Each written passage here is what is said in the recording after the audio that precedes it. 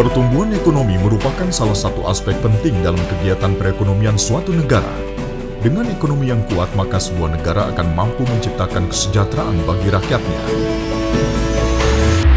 Namun, sebagai negara kepulauan terbesar yang kaya akan sumber daya alam dan budaya, permasalahan ketimpangan pembangunan ekonomi dan sosial masih terjadi.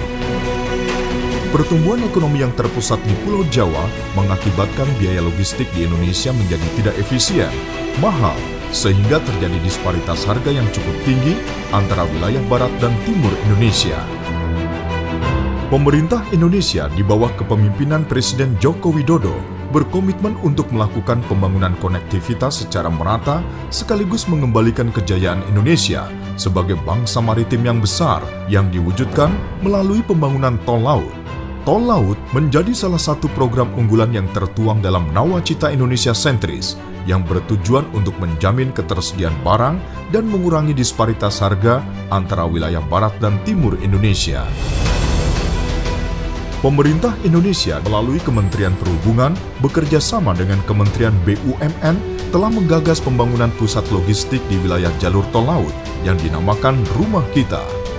Pada tahun 2017, pemerintah berencana akan membangun pusat logistik di 13 wilayah, yaitu Pulau Nias, Mentawai, Natuna, Sangata, Tahuna, Dompu, Waingapu, Loeleba, Rote, Namlea, Namrole, Saumlaki, dan Manokwari.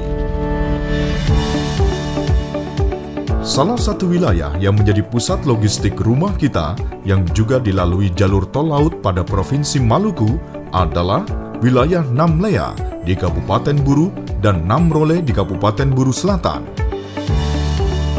Kementerian Perhubungan telah membangun dan mengembangkan Pelabuhan Namlea dan Pelabuhan Namrole yang memiliki peran strategis dalam memperlancar rantai logistik khususnya pada Provinsi Maluku dan sekitarnya.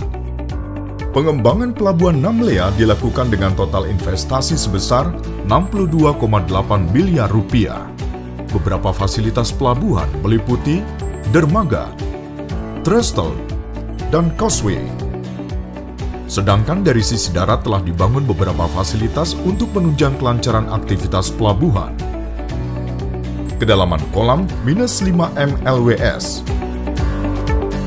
Sementara itu, pengembangan pelabuhan Nambrole dilakukan dengan total investasi sebesar 46,4 miliar rupiah beberapa fasilitas pelabuhan yang telah dibangun di antaranya dermaga, causeway, dan trestle, serta beberapa fasilitas penunjang lainnya. Kedalaman kolam minus 5 mLWS.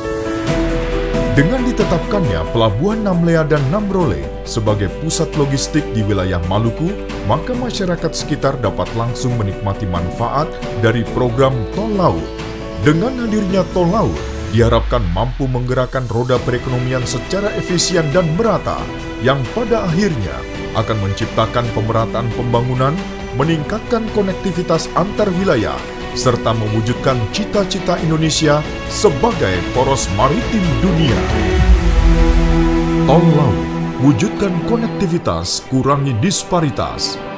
Kementerian Perhubungan Republik Indonesia